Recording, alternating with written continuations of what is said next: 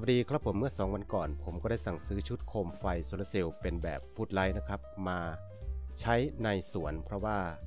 สวนอยู่ไกลไฟดับบ่อยด้วยนะครับ ก็มีการแกะกล่องเช็คอุปกรณ์ให้ดู แล้วก็บอกในคลิปนั้นว่า ผมขอใช้งานจริงก่อน สักระยะหนึ่งเพื่อจะมาพิสูจน์ให้ดูว่า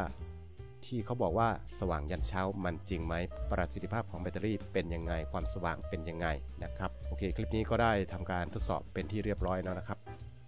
ก็นำมา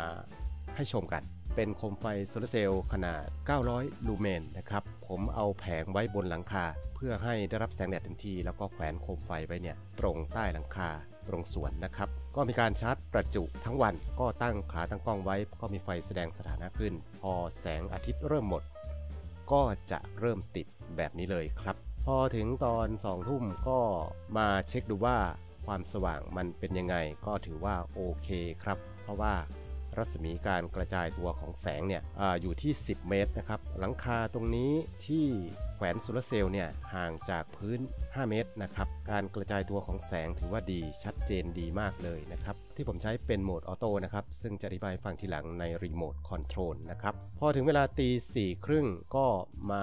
เทรดอีกรอบหนึ่ง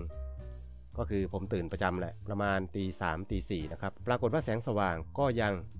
โอเค สว่างชัดเจนมาก อันนี้บอกได้เลยว่าเป็นโหมดออโต้นะครับ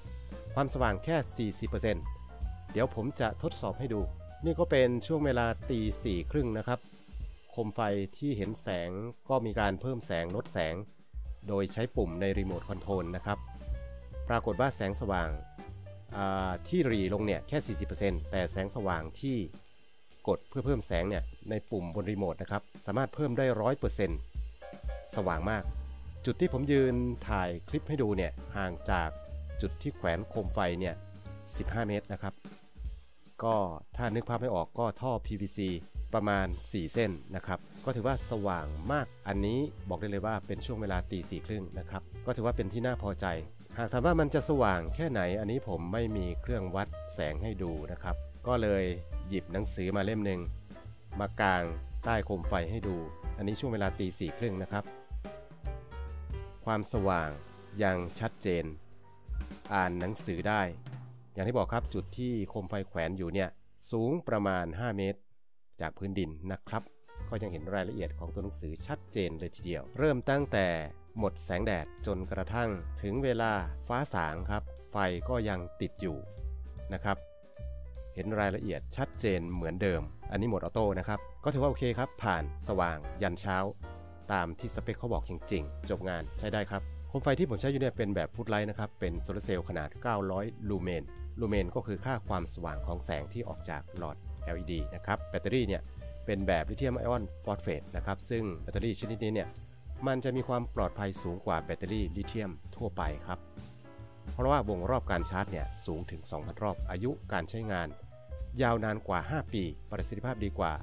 หรืออายุการใช้งานเนี่ยยาวนานกว่าแบตเตอรี่ลิเธียมธรรมดาถึง 2 เท่า สว่างนานยันเช้าด้วยโหมด auto ที่ผมพิสูจน์ให้ดูนะครับ ตัวนี้จะเป็นคุณภาพมาตรฐานยุโรป ควบคุมคุณภาพโดย Signify Netherlands อันนี้ดูจากวันที่เขาผลิตข้างกล่องนะครับโคมไฟจะมีน้ำหนักเบาแผงขนาดกะทัดรัด ประสิทธิภาพสูงครับ เพราะว่า แบตเตอรี่ลิเธียมไอออนฟอสเฟตนั่นเอง ง่ายในการติดตั้ง ตอนแรกผมก็ตกใจอยู่แผงนิดเดียวเอง มันจะสว่างถึงเช้าหรือเปล่า พอได้ทดสอบจริงเนี่ย ก็ตามที่เห็นเลยครับ ตามที่เห็นในคลิปเลย และที่สำคัญครับ โคมไฟแบบฟุตไลท์เนี่ยจะมีเลนนูน LED เนี่ยที่เป็นเลนนูน อันนี้จะดีไซน์ที่แปลกๆอยู่นะ อันนี้จะช่วยในการกระจายแสงออกเป็นมุมกว้างได้มากถึง 120 องศาเลยทีเดียว อย่างที่เห็นในคลิปเลยครับ การกระจายตัวของแสงเนี่ยมากกว่า 10 เมตร นะครับ วัสดุที่ใช้จะเป็นพลาสติก ABS ขาเป็นโลหะ ตัวเล็กน้ำหนักเบาครับ และที่สำคัญเนี่ยสามารถกันน้ำกันฝุ่นกันฝนได้ด้วย เพราะว่ามี IP65 IP65 หมายถึงอุปกรณ์ไฟฟ้าชนิดนั้น สามารถป้องกันฝุ่นขนาดเล็กที่มีปริมาณหนาแน่น และป้องกันหยดน้ำหรือน้ำฝนที่มีขนาดไม่มาก ที่มากระทบกับตัวอุปกรณ์ได้จากทุกทิศทางเลยทีเดียวครับ สามารถป้องกันรอบด้านก็ว่าได้ IP65 การันตี อันนี้คงเอาไปจุ่มน้ำไม่ได้ไม่มีใครทำอยู่แล้วใช่ไหมครับ แผงจะเป็นแผงโพลีคริสตัลไลน์ตัวเล็กน้ำหนักเบาครับ อายุการใช้งานของ LED เนี่ยเขาระบุไว้ในคู่มือก็คือ 25,000 ชั่วโมง รับประกันสินค้า 1 ปี อันนี้คือสเปคคร่าวๆที่ผมอ่านให้ฟังนะครับ ซึ่งในรีโมทคอนโทรลเนี่ยก็จะมีปุ่มการใช้งานที่ง่ายมากเลยครับก็มีปุ่มสีแดงสำหรับเปิดปิดแบบ manual เราต้องการเปิดไว้ตลอด หรือจะปิดไว้ก็ได้ หรือปุ่ม auto เลือกการใช้งาน ปุ่ม auto เนี่ยจะตรวจจับแสงพระอาทิตย์ เวลาพระอาทิตย์ตก แสงหมดก็จะเปิดโดยอัตโนมัติ ด้วยความเข้มข้นของแสงเนี่ย 40%ในครึ่งชั่วโมงแรกนะครับ ครึ่งชั่วโมงแรกเนี่ยแสงจะเข้มข้น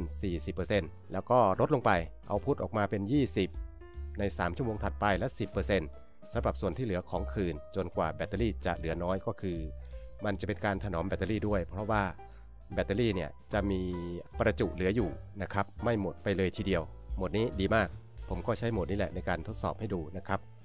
หรือถ้าเราอยากเพิ่มแสงลดแสงก็ใช้โหมดถัดลงมานะครับ ปุ่มซ้ายขวาสามารถเพิ่มแสงลดแสงได้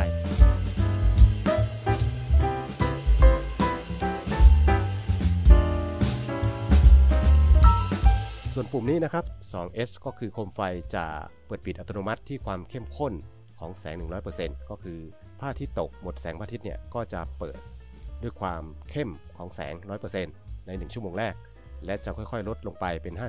50%จนกว่าแบตเตอรี่จะหมดหรือประมาณ 2 ชั่วโมง เมื่อแบตเตอรี่เต็มนั่นเองครับ ส่วนปุ่มนี้ CS โคมไฟจะเปิดอัตโนมัติเมื่อความเข้มข้น ของแสง 70%ที่ความเข้มข้น 70%ก็คือปริมาณแสงจะออกมา 70%ในชั่วโมงแรก และจะลด drop ลงไปเรื่อยๆ เป็น 30%จนกว่าแบตเตอรี่จะหมด หรือประมาณ 4 ชั่วโมงเมื่อแบตเตอรี่เต็มนั่นเอง ส่วน 6S โคมไฟจะเปิดอัตโนมัติ ที่ความเข้มข้นของแสง 50%ใน 1 ชั่วโมงแรก แล้วก็ดรอปลงไปเป็น 20% จนกว่าแบตเตอรี่จะหมด หรือประมาณ 6 ชั่วโมงนั่นเองครับ เลือกโหมดไหนก็ใช้ได้ตามสบาย ซึ่งผมทดสอบให้ดูเนี่ย เป็นโหมดออโต้นะครับ สว่างยันเช้าจริง ๆ ส่วนโหมด DIM โคมไฟจะตรวจจับพระอาทิตย์ก็คือโหมดแสงเนี่ยจะเปิดอัตโนมัติที่ความเข้มข้น 40%ในครึ่งชั่วโมงแรก ส่วนถัดไปก็จะเอาพุทออกมา 20%ใน 3 ชั่วโมงถัดไป แล้วก็ 10%จนกว่าแบตเตอรี่จะหมด